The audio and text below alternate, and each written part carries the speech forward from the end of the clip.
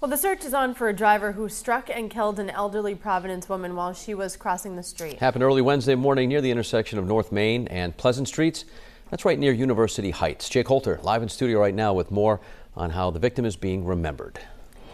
Patrick, Kate, the family of 85-year-old Vonda Makovetsky understandably heartbroken by what has occurred. They say she was on her daily morning walk with her husband when she was clipped by a car while crossing the street the impact throwing Makovetsky to the ground. She later died at the hospital. 12 News spoke with the victim's son-in-law, Michael Deshays, last night. He says Makovetsky was one of the sweetest people he has ever met, and his family is just reeling from this tragedy.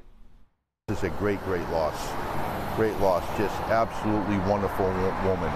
It's unbelievable. So full of life. 85 years old, but healthy and happy and living life. And, and she was robbed of, of maybe another good 10 years at least. She was robbed. And this isn't the first time this has happened. Earlier this year, another pedestrian was struck and killed at an intersection just a block south of where this tragedy took place. Providence police have told 12 News while they haven't found a suspect, they do have leads. If you have any information, you're urged to give them a call. For now, live in studio, Jake Holter, 12 News.